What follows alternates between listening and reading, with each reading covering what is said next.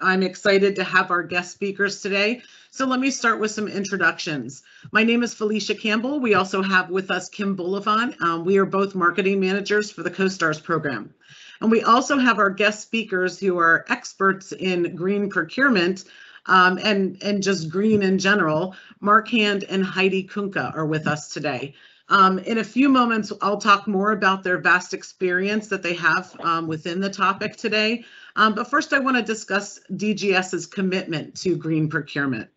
And I'm going to go off camera while we start the presentation officially.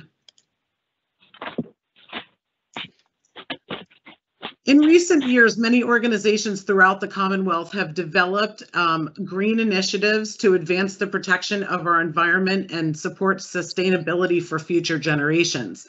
In the same manner, the Department of General Services Bureau of Procurement makes environmentally preferable procurement one of its predominant goals. Environmentally uh, preferable procurement, which we also refer to as EPP or green procurement, is the selection of products and services that have a lesser or reduced impact on the environment over the life cycle of the product or service when compared with competing products or services serving the same purpose. When selecting green products, the Bureau of Procurement takes into consideration many factors, including the reduction of greenhouse gas emissions and air contaminants, reduced waste, and reduced hazardous waste and toxic and hazardous substances. Stop for a minute and mute some participants and hopefully not myself. We also consider factors such as improved energy and water efficiency and supportive reuse and recycling and use of renewable resources. DGS's policy is to analyze each commodity and service during the bid process to determine what EPP options are available. The green option is utilized whenever the product or service is comparable in quality, availability, and price.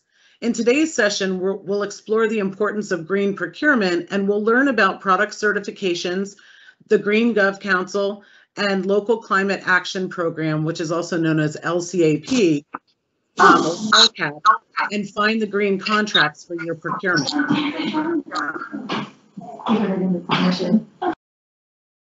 Oops, one moment.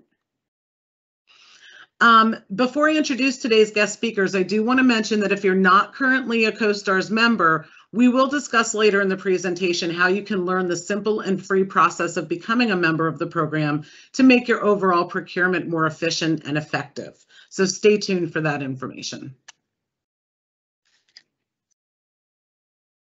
Today, we invited two Commonwealth employees who are far from green on the topic of green.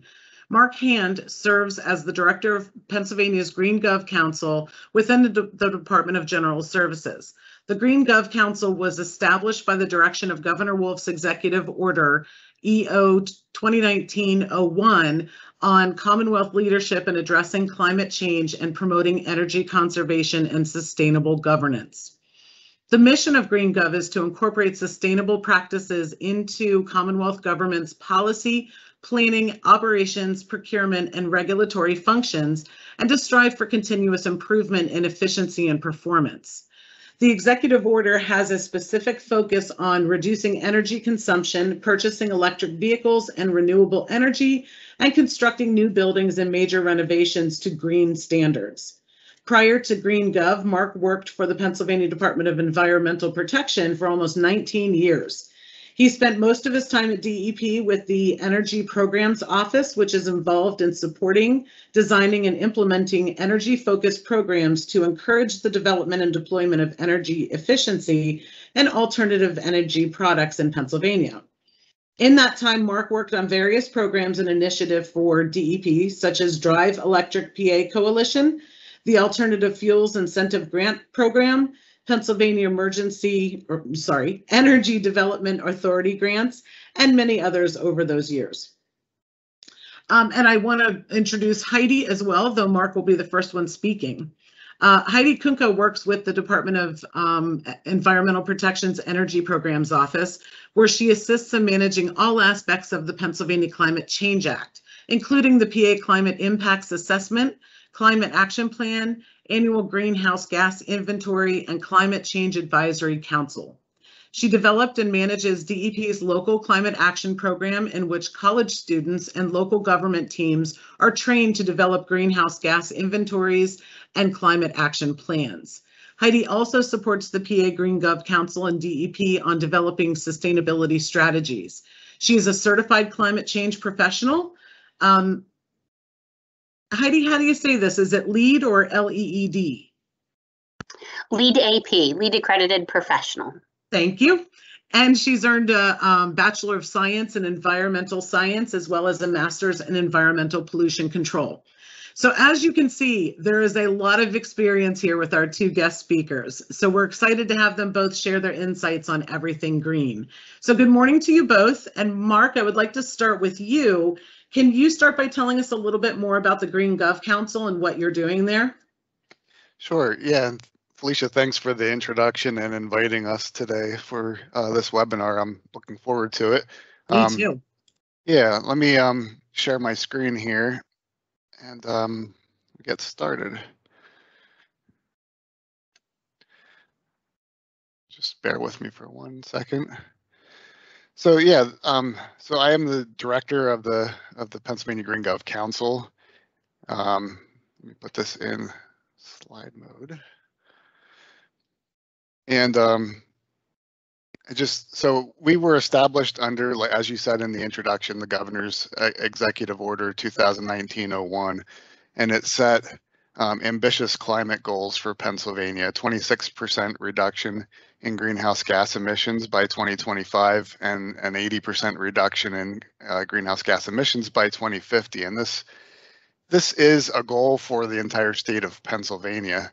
Uh, it's the first climate goal um, on record for Pennsylvania, and I'm happy to be a part of this this program. Um, so we are co-chaired by the Department of General Services, the secretaries of the Department of General Services, Department of Environmental Protection, and Department of Conservation and Natural Resources, and they uh, we meet uh, by biweekly and um, have very um, good dialogue with the secretaries to try to advance the program and advance sustainability in the Commonwealth. So other than the large goal, which is a lead by example, uh, a large goal for the Commonwealth, we have lead by example goals for Commonwealth agencies that are written into this executive order. And, um, you know, as you can see here, in they're not, uh, each goal is, is very unique. We have a 3% reduction in energy consumption. We have a, a passenger fleet goal to convert vehicles to electric vehicles and plug-in hybrids. Uh, we're looking to procure 40, at least 40% of our renewable elect, uh, electricity from renewable sources. And then we also want to build high performance green buildings. And nowhere does it say that one of our goals is environmentally preferred purchasing, but it's really um, embedded into most, if not all, of these goals for sure. Um, for you know procuring vehicles, procuring renewable electricity, and and buildings standards. So procurement is is environmentally preferred purchasing and procurement is is very important to meeting our goals and and our lead by example strategies. So how do we measure and account for um, the governor's executive order and how do we support it? And I'm just going to touch base, I'll touch a little bit, of, a few points here, and then we'll move into some products and materials. So one of the things for those that may not be familiar with our program is we have um, published uh, an annual report now two years in a row, a 2019 and 2020 annual report. And it's has a lot of um, benchmarking and analysis in it, and it's it's a, a an executive report that you can kind of get a, a, a feel for um, how the Commonwealth agencies are progressing on sustainability. Um, we'd like to think of it as the report on record for sustainability initiatives, initiatives and actions in the Commonwealth. Um, and that's what we're really striving to for transparency for so the public can uh, view uh, how we are making progress on our goals. We also have um, a GreenGov newsletter, and our first one was uh, sent out in the spring of 2021. It hi- it's another way that we're looking to highlight agencies' efforts to meeting the sustainability goals. Other things that we're working on is um, we have um, public meetings twice a year. And if you are in the audience and you want to participate in our public meetings, please just send us a send me an email and we'll happily um, invite you to um, our next meeting and look we look forward to your participation in it. Uh, the other thing we have is an educational series on various sustainability topics. We've now done this uh, two years in a row in the fall last year and then the spring of spring summer of this year where we partnered with Penn State Sustainability Institute to put on a webinar series on various sustainability topics. And then one of the other major thrusts of our program is this GreenGov agency certification checklist. Uh, we developed this when we started in middle of 2019. Agencies, um, 30 agencies of the Commonwealth uh, are required to report on this checklist. It's basically an assessment tool. It gauges agencies' uh, level um, from one year to the next on where they are with sustainability measures. There's a number of categories that I'm not going to get into in in great detail here, but a lot of the items in our checklist really is for is is geared towards uh, agency evaluation. But if you're coming from a local government, there are certainly um, energy strategies, procurement strategies in here that um, I would just encourage you to look at and you know see if there's items in there that you could adopt for your your local government or your your jurisdiction. I think it's it's worth taking a look at. And also it's on our website so you can see how uh, 30 the 30 agencies that have submitted these have um, scored from one year to the next. So, and then finally, another way we sort of track this program and try to enhance our program on sustainability is we have focus groups with agencies. So each of these uh, blocks represents a focus group area that we determined early on was really necessary to move the bar on on our initiatives and lead by example. And so this is these are closed focus groups for agencies, but my point here is that you can see that we have six primary focus groups that meet quarterly and uh, products and materials is one of those six. It's extremely important um, in that products and materials focus group. We talk a lot about recycling. We're planning to, to do um, recycling tours of facilities that are um, best practices so that we can enhance our recycling. But the other piece to it is we are working together as a team to to work to enhance our environmentally preferred purchasing um, options in the Commonwealth.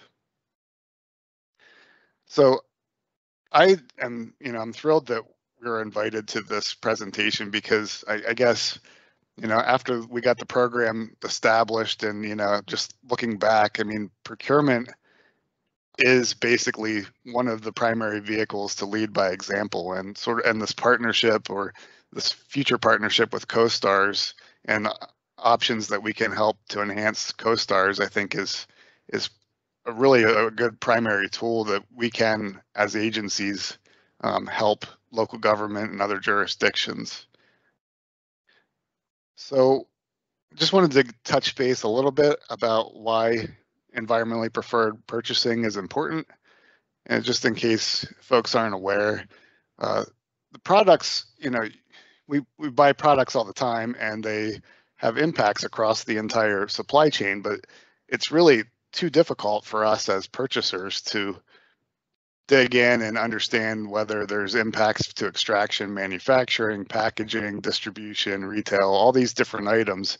And some of, you know, each logo has a different take on on what they're looking for, but they're all independent third party certifications. Um, you know, and they look at different attributes of the supply chain on the product, so you don't have to. I mean, that's really why you want to shop for a logo, why you want to support a logo. Um, environmentally preferred purchasing can address uh, anything from climate, air, water, pollution, toxic exposures. uh, resource use, ecosystem damages and disposal. And the other major piece to it is that, you know, EPP helps with US industry competitiveness where, you know, maybe in, in other countries, they don't have the environmental standards and they can sort of undercut costs. Uh, some of these logos can help support our local uh, manufacturing in, in the United States. And I also wanted to say just it's EPP is really super important to to Department of General Services and Pennsylvania agencies in um, in fiscal year 2019 and 20 through 2020, we purchased about 138 million uh, dollars worth of purchases of EPP products, and um, that was up from fiscal year 18-19 of 50 about 57 million dollars of products. So we are a very large purchaser of EPP, and um, I just have this this graphic here and the the source. I just wanted to bring to everyone's attention that um, obvi- uh, the EPA has on their website recommendations and specification standards for federal purchasing, and so you can kind of if you're not sure what logos to be looking for necessarily, there's a, there's definitely federal reference materials on what um, federal agencies are are tasked to to use as standards because there are lots and lots of labels. So this is a good starting point to look to look at. And then one of the um, the big things that Pennsylvania has done in the past two years is we um, supported the Electronic Product Environmental Assessment Tool, EPEAT, which is one of the labels that I wanted to talk about today. Um, it's it's a global eco label for the IT sector. It includes computers, television servers, and phones. And um, you know, EPEAT, the standard itself, the third-party certification, looks at most of the supply chain from material selection through uh, end of life, and also the corporate performance is important um, to EPEAT. So they have their their rating system, and um, DGS has won EPEAT awards with uh, other state agencies and um, municipalities across the country two years in a row. We just with EPEAT alone, um, in 2020, we purchased over 67,000 products that that meet the EPEAT criteria and the EPEAT estimated that the cost savings was over 1.3 million dollars. And so this is kind of hot off the press because uh, there's an award ceremony that DGS is going to participate in. It's scheduled for July 28th. And, um, you know, this will be our second award and I'm proud of the, the work that they've done. So another eco label um, an EPP is what, what we use for um, meeting our renewable electricity requirements in the Commonwealth, that 40% goal. Um, over the last two years and the upcoming year is Green E certified. We use this this criteria to to meet that that um, that executive order goal set by the governor. And so what it is is third party certification of, and you basically are securing the renewable energy certificates of projects that go in really anywhere in the United States. They have to be new projects. And um, there's a really tight, um, the, the Green E staff, and there's a really tight control to make sure that there's no double counting. So if you buy Green E certificates, you are buying the um, the renewable energy attributes of those solar um, arrays or wind arrays or windmills or whatever the whatever the renewable energy is, um, and it's it's guaranteed that you are buying that product. So it's it's a really good third party system to meet corporate goals or local government goals. Um, and so there is an energy supply and management ITQ in the Bureau of Procurement that where we um, shopped for the Green certif cert certificates, excuse me.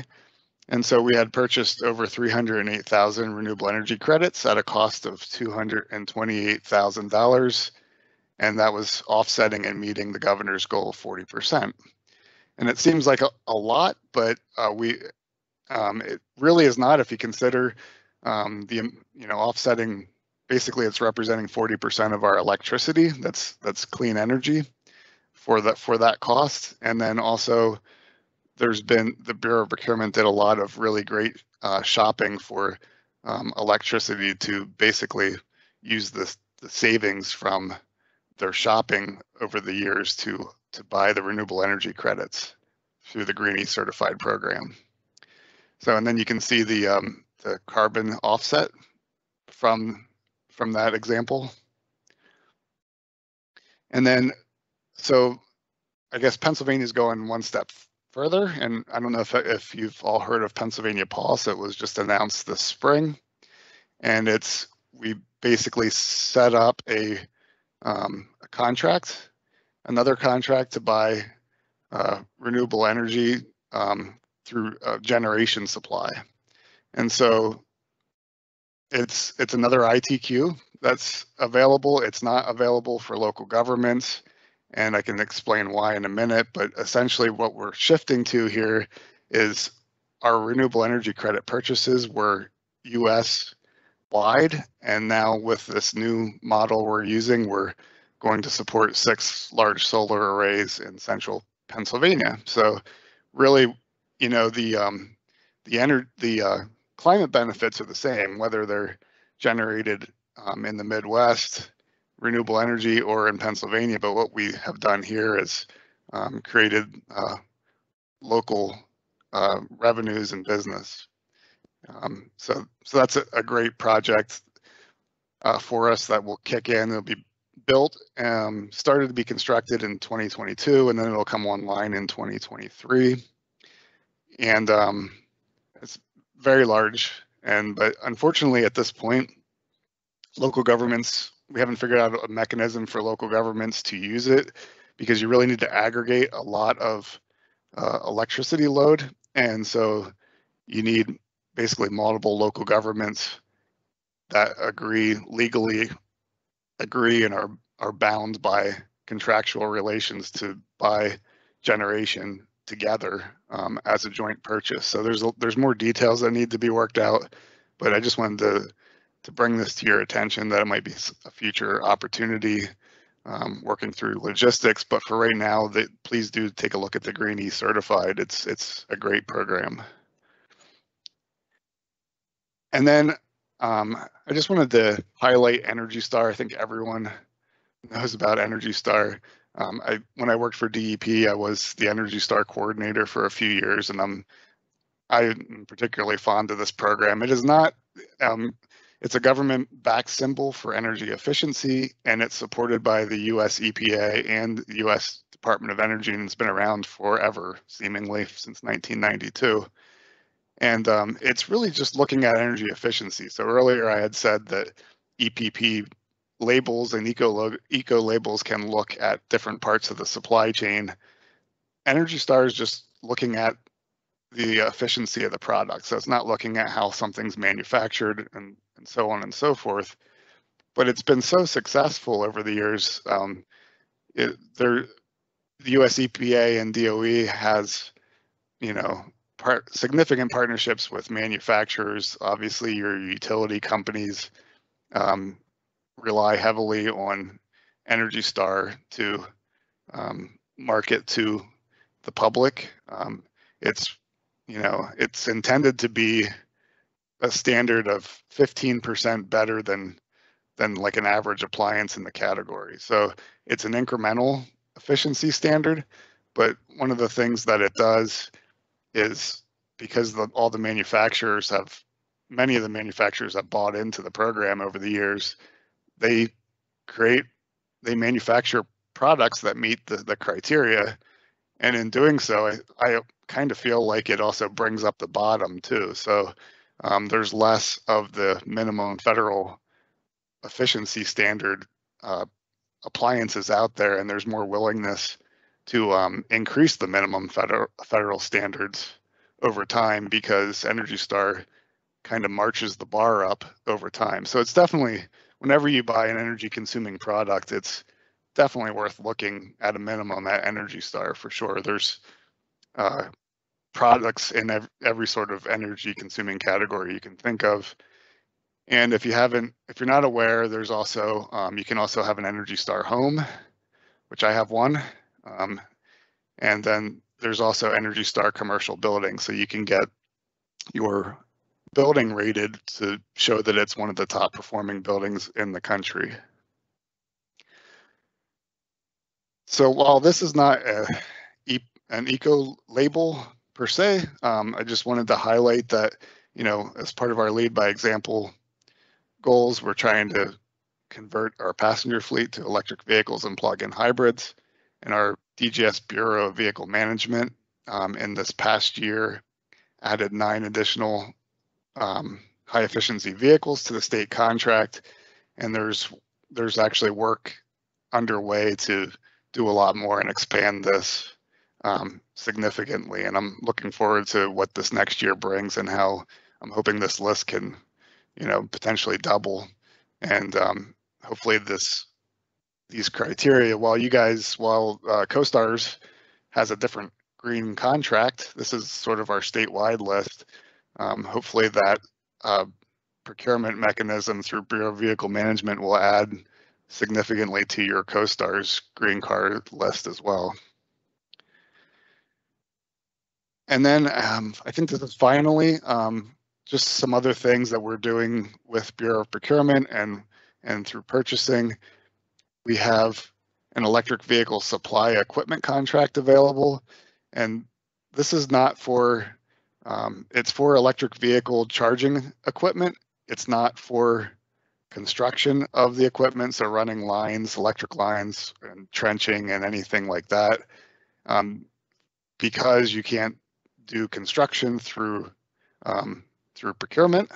Uh, so what this is is if you were if you have a project that you know you you can it doesn't require construction or you can wrap the cons- the construction's wrapped up in another project you can use this contract to uh, find the, best best uh, electric vehicle supply equipment that you can get for your for your situation. And you can use that uh, those those vendors on contract to help you sort through the the myriad of um, equipment options that are out there and if you're looking at network charging you can also um, basically use that contract to get into a, a network charge situation for for multiple years and then just a couple other things is um, I'm working on um, an ASHRAE level one and level two energy audit through ITQ.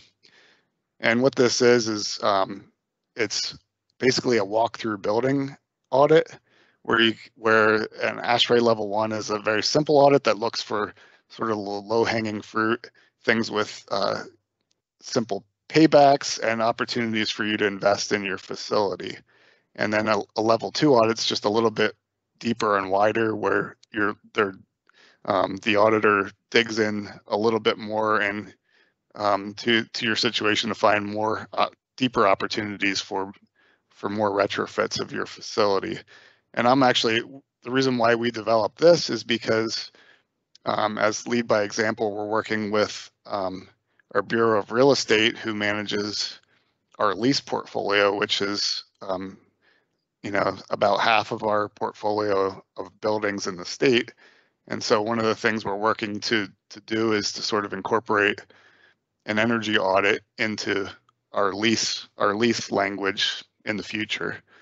So this ITQ is going to help agencies and uh, our lessors to um, sort of get that get that kicked off, and hopefully you all can use it as well um, in your situations. And then just to add one more piece is um, we're adding an Energy Star building certification um, under that same, under the, a similar ITQ where and we, I mentioned it earlier, the Energy Star, you can get Energy Star labeled buildings and you have for many, many years.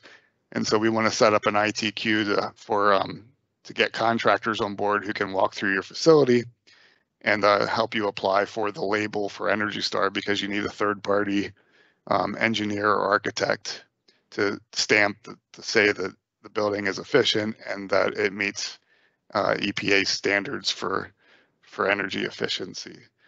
So, with that said, um, I just wanted to thank you all for for your time and just you have my um my website and my contact information here, and I will un- stop sharing here and turn it back over uh, once I figure out how to end the slideshow. You Um, just hit to the same, there you Yep. go. Got it. Cool. Well, Back thank you, you, Mark. Um, that was really insightful. And from my role with CoStars, I know about the Green Gov Council, but I wasn't quite aware of just how much the council has been doing to increase the Commonwealth's reach for more green and sustainable procurement. So that was great information to have. And I know that you talked about um, some specific contracts, but just to let our attendees know, we are going to have uh, Kim Bullivant's going to go over, um, highlight many of our uh, uh, contracts that will also fit within this green spectrum. So um, stay tuned for that information. But before we do that, I want to bring Heidi into the conversation. Heidi, I know Mark spoke about EP, the Green-e Certified and Energy Star, but can you explain to us about some other green certifications? What do they mean and how do those certifications um, help our communities when we focus on them for our procurement strategies? Sure thing, Felicia. Um, so uh, thanks for having me today. Again, I'm Heidi. I'm with the Pennsylvania Department of Environmental Protection in our Energy Programs Office. And I just wanted to uh, sort of continue the little list of um, green or eco labels that uh, Mark had been sharing with you so that when you look at the green contracts that, that DGS office offers, um, you can recognize some of these uh, additional labels. Uh, Mark and I sort of went through the various um, green labels that um, DGS has in some of their contracts, and we, we picked out our favorites. So I'm going to continue um, sharing some of our favorites that have been around for uh, many years.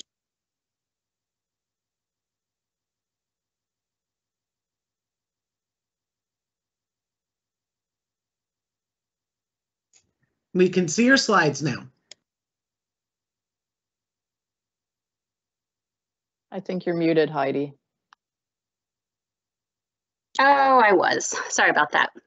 Um, so these are two uh, labels that you will see on um, a variety of project uh, pro products. Uh, copier paper, you'll see it on toilet paper, tissue paper, um, paper towels, also um, flooring, uh, wood flooring products as well.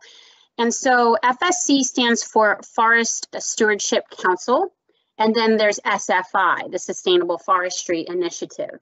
Um, FSC is considered the more stringent label if you really want to uh, go for the gusto and, and make a difference. FSC is seen as more stringent. They are a nonprofit organization. Sustainable Forestry Initiative was started by the pulp and paper industry for the pulp and paper industry.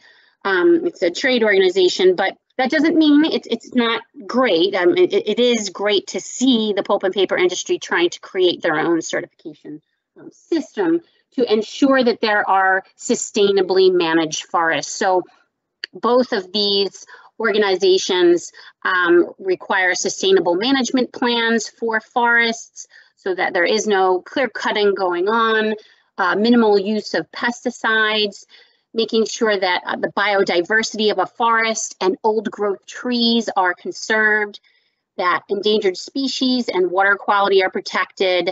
Um, if you have um, uh, woods grown in tropical rainforests, that indigenous people's rights are, are respected, that non-genetically modified trees are, are used. So um, there's a whole host of criteria that um, the wood or paper products are um, assessed. But um, yeah, next time you even go to the grocery store, you can make a difference with your dollar there just by checking the bottom of your tissue box uh, or paper towels, and you will see um, these labels on those products. Um, next, is um, another what we call single attribute um, label. Uh, so this one is called Green Guard. Green Guard is it's single attribute label because similar to Energy Star, it's only focused on one attribute, and that's indoor air quality. We spend the majority, as much as we may love the outdoors, we spend the majority of our time indoors. So we want to make sure that we're using um, products in our in our homes and our offices um, that are low emitting um, and have uh, less volatile organic compounds or VOCs that can cause some health effects. Um, so uh, this particular logo is managed by Underwriters Laboratory, of which uh, many of you may be familiar with UL, uh, but GreenGuard can be found on a wide variety of products, ranging, ranging from furniture to carpet, uh, cleaning products, and even electronic equipment because um, printers actually do um, produce some VOCs as they're printing as well. Um, I even uh, sleep right now with a pillow that's Green Guard certified, so it doesn't off-gas that um, foamy scent that some of those um, foam pillows and foam mattresses have. Um, so this is a very legitimate label. Um, Green Seal has been around for many, many years. And this one, contrary to the other labels that we've been talking about, um, is multi-attribute. So it assesses um, a wide variety of health and environmental impacts. Uh, Green Seal to me um, first came out many years ago as more of a label for cleaning supplies, um, but now you'll see it um, also uh, frequently on paper products and also paints, coatings, sealants, adhesives, and again, a very legitimate green um, label. Um, there is greenwashing out there. So um, Mark had that really great slide up with all those um, logos that are legitimate uh, eco labels, and that's a that's a great resource. Um, his, his particular slide that showed all of those uh, labels. And um, finally, the another um, multi-attribute certification is called Eco Logo, which is also similar to Green Guard managed by uh, UL or Underwriters Laboratory. And you'll find Eco Logo on uh, building and construction materials, cleaning supplies, office equipment, paper, and plastic. Um, and it, it um, assesses products through that um, supply chain that uh, Mark was mentioning earlier. So throughout its life cycle from where uh, materials are extracted to the manufacturing plants and how efficient they are, and then um, uh, how long does the product last uh, in use, and then where does it go at the end of its life cycle, life cycle assessment. And then finally, I just wanted to touch on a, a program that I manage here at DEP to help local governments in leading by example. So um, the 2018 Pennsylvania Climate Action Plan, um, this is the cover page of it. We are actually working on releasing our 2021 Pennsylvania Climate Action Plan uh, for release in September. But um, this is our current plan. And um, the plan outlines um, 19 different greenhouse gas reduction strategies for state and local government leaders to use. And uh, many of these aren't going to be a secret to you, you know, energy efficiency, sustainable transportation, clean, renewable energy, emergency preparedness, stormwater best management practices. But I have uh, number 18 um, highlighted um, because it's lead by example in Commonwealth um, and local government practices and assets. So we sort of took that strategy and we said, what can we do to support local governments in leading by example? Obviously, Mark touched on all the ways that GreenGov is supporting the state in leading by example, but how can we support uh, local governments besides the CoStar's green contracts? Um, so we created this LCAP, it's called, Local Climate Action Program, whereby we use US Department of Energy funding that my office receives each year to pay a contractor called ICLEI, Local Governments for Sustainability, to train college student and local government teams. The, the students are matched up with a local government to develop greenhouse gas inventories during the fall semester and uh, climate action plans during the spring semester. So it is an 11 month long program. Uh, it's involves um, live training webinars and one-on-one technical assistance as well throughout the course of the 11 months. And so far we've had 41 local governments participate. So we have 41 greenhouse gas inventories and drafts and some finalized climate action plans um, in these past two years of the program. This is a link to our webpage for LCAP. So um, we are about to enter um, our third year of the program um, in August 2021, but um, this is uh, the the um, schedule that uh, the the LCAP participants just finished up on. Um, we'll be following the same exact timeline for the third year of the program. So starting in early August, we will have our first training webinar focused on greenhouse gas inventories. They'll continue through November. And then um, starting in December, you'll form what's called a climate action task force at your local government to help move through the climate action planning process that starts in January and goes through June. And the ultimate goal of the program is a draft climate action plan in those 11 months. Um, so here is an example of what a greenhouse gas inventory looks like if you haven't seen one before. Bellefonte Borough was one of our inaugural year participants and one of our shining star communities that participated. I'm actually presenting with them to the Pennsylvania State Mayors Association later this week. Um, but you can see the majority of their greenhouse gas emissions are from residential buildings, then commercial buildings, and finally transportation. So those are the sectors that they really want to focus in on in their climate action plan, which is exactly what they did. And this is the cover page of the Climate Action Plan template that we provide to all participants in LCAP. Uh, it's a little bit like a plug and chug document where you enter the results of your greenhouse gas inventory, the results of a high level vulnerability assessment that you conduct, and then you choose your greenhouse gas reduction strategies um, throughout the document. And your, your student helps you to fill this out. You work as a team.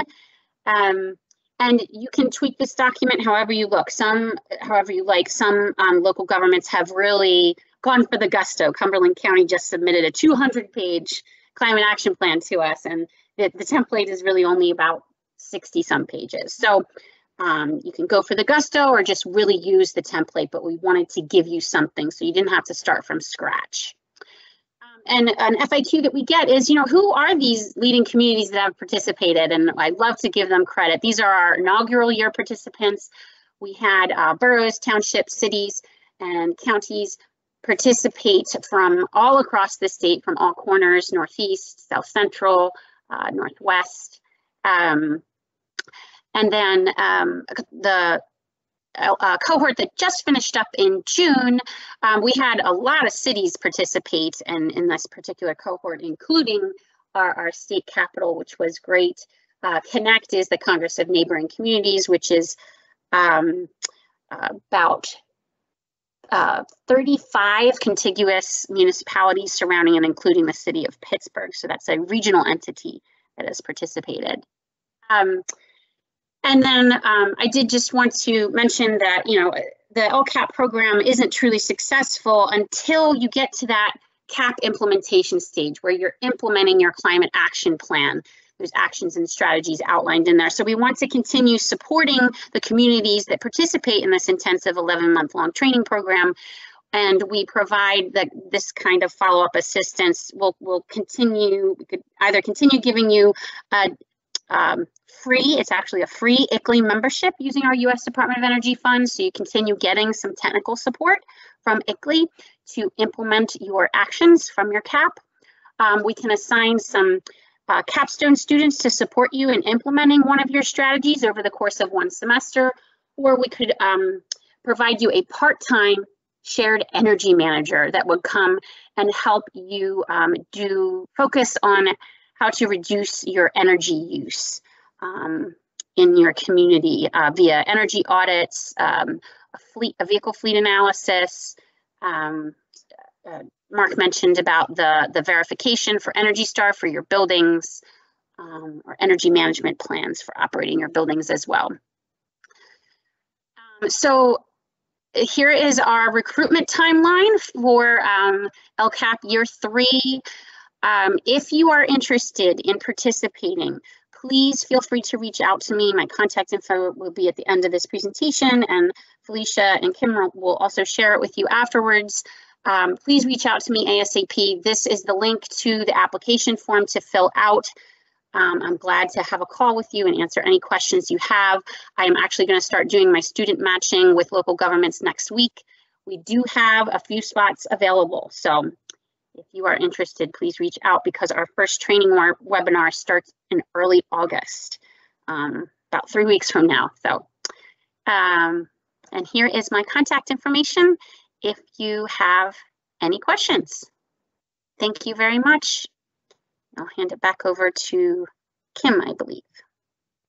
That's right. okay, let me share my screen now.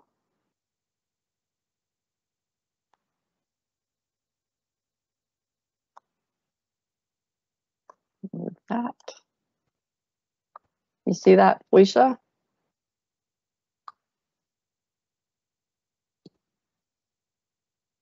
Yeah, sorry, I couldn't find my uh, mute button. okay. I'm like, uh oh, am I muted? okay. And thank you, Heidi and Mark. Um, that was some really great information about going green. And I know I've learned a lot. Um, and I'd like to um, go into uh, some contracts that our CoSTARS members have access to that can help them strive for greener procurement. Under our CoSTARS exclusive contracts, we offer green products under uh, CoSTARS 5 janitorial supplies, CoSTARS 8 our MRO contract, CoSTARS 26 passenger vehicles, CoSTARS 28 energy conservation management supplies, CoSTARS 29 groundskeeping services and supplies, CoSTARS 30 energy consulting services, CoSTARS 33 street light street lighting, parking meters, and street furniture, and CoSTARS 41 stormwater management products and services. And under CoSTAR's participating statewide contracts, we also offer green products under the carpeting and resilient flooring contract, dilution control, dishwashing chemicals, fleet card services. Um, there are alternative fuels available under that contract, fuels, truck transport delivery, green eco-friendly vehicles contract, the MRO contract, supplies manufactured and services performed by persons with disabilities, the janitorial supplies under that contract, uh, various fuels, tank wagon delivery, and the new electric vehicle charging stations ITQ. And we will send um, you these contract numbers in our post-event email for your reference. We're going to focus on searching statewide CoSTARS participating green contracts because eMarketplace offers uh, robust green search capabilities. So to search statewide contracts, you're going to go to our um, CoSTARS homepage, www.dgs.pa.gov forward slash CoSTARS, and select the member information button and then select the members area button. And that'll bring you to the CoSTARS members area. Uh, on the left side navigation panel, you'll hover over search contracts and then select statewide contracts. And this is going to take you to eMarketplace. In the search by field, uh, you'll select green contracts. And from here, uh, we then have certification choices that you can search by. And we just heard about a lot of these certifications from Mark and Heidi today. But in the future, if you forget what they mean, DGS has information on the certifications on their green procurement page. And we will share the link to these certification definitions in our post-event email as well.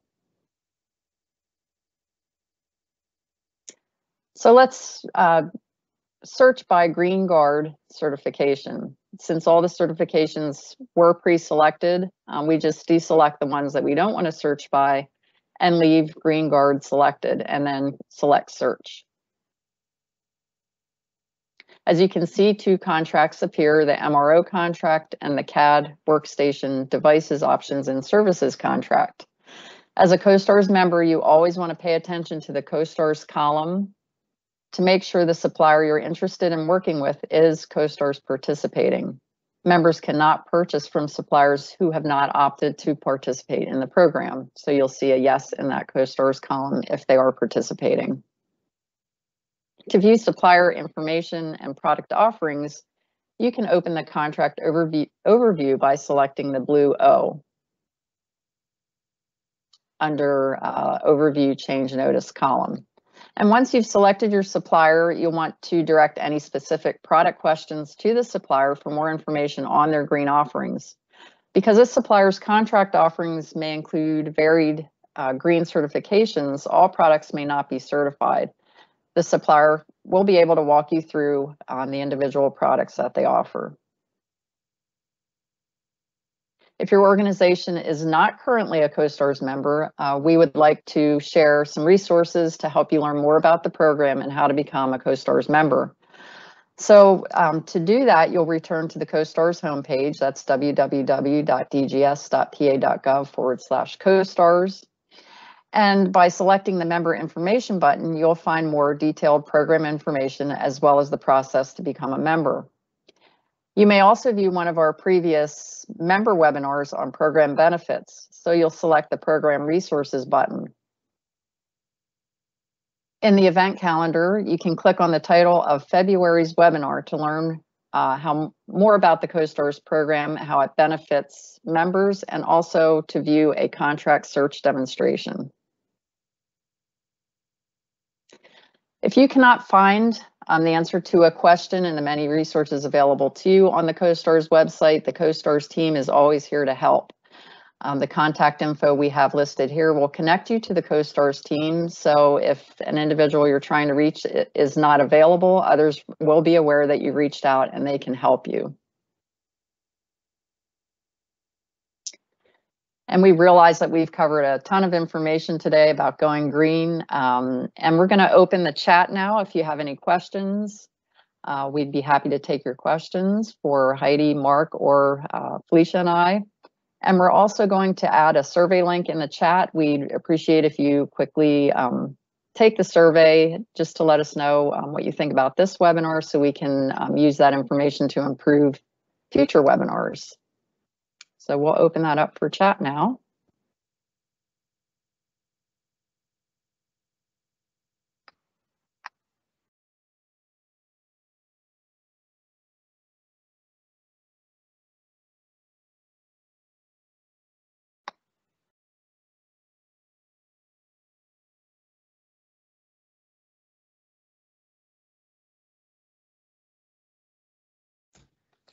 I just want to say to Heidi that I checked my box of tissues and there is nary a certification on it, so I need to change my tissue purchasing habits. shame, shame, shame. I'm, I'm glad you checked, Felicia. That's that's that's the first step. now I want to go check like, mine. even even like the Wegmans brand, um, the generic Wegmans brand is uh, um, uh, I think they're SFI certified. So yeah, you can find them.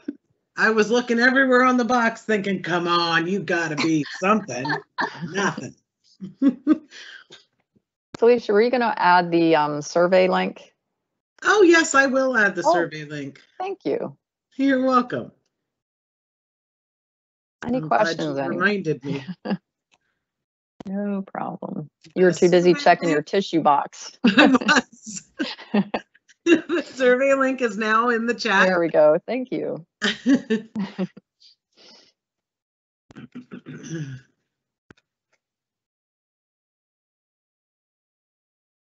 Well, it doesn't look like we have any questions for today, so we do want to remind you that you'll be getting a, a post-event email in the next few days um, with the, the contract numbers, um, some information from the speakers, um, and talking about um, certification meetings so that you can refer back to that. Um, excuse me, and uh, we will also send you the link to the recording once that's um, available. So if you wanted to refer back to that for any particular piece of information, you will have access to it.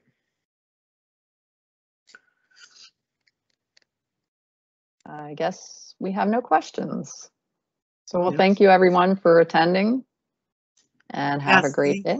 Yep. And thank you, Mark and Heidi.